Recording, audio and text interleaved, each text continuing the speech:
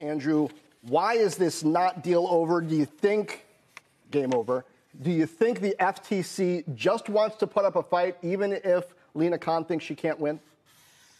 Well, thank you for having me. I think that if we take a step back and look at the broader gaming market, this is a massive market, nearly $200 billion in revenue. And even a consolidated Microsoft and Activision Blizzard would only be the third largest player in the market behind Tencent and Sony.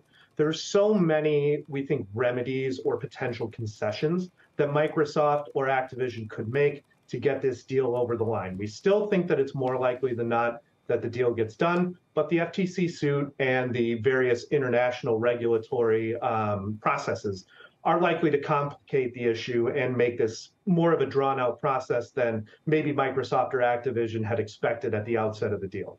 I mean, does this come down to the question really of consumer harm? Are consumers actually hurt by this or a more European style?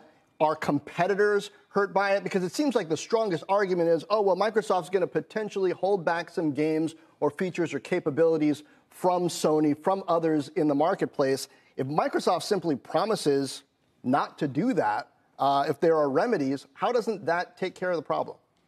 Yeah, I think it's a little bit of both in this case. Um, I think, in, in contrast to some of the other, certainly some of the other consolidations in the gaming industry, I think some of the competitors or the other parties to this merger might have been a little bit more loud and a little bit more strident in their um, opposition than normal. So I think the anti competitive and anti consumer cases are both being taken into account.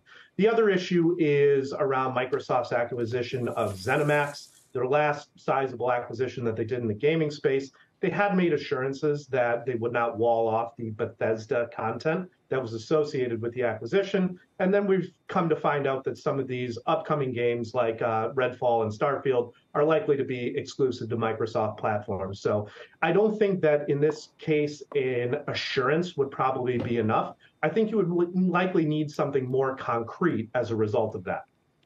Andrew, I'm also curious where you think Activision is valued or would be trading if there were no Microsoft deal right now. And I'm glad you asked that question because I think this is something that has a, a, a part of the story that has changed pretty significantly over the course of this acquisition saga, um, which has now lasted most of 2022.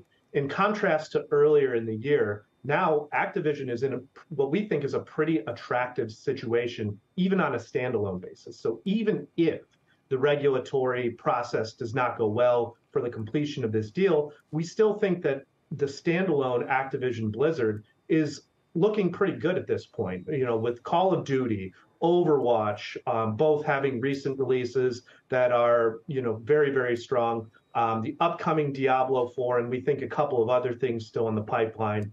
Um, Activision Blizzard is looking pretty pretty decent as a as an investment in its own right, which was part of the uh, catalyst behind our upgrade of the stock to outperform last month.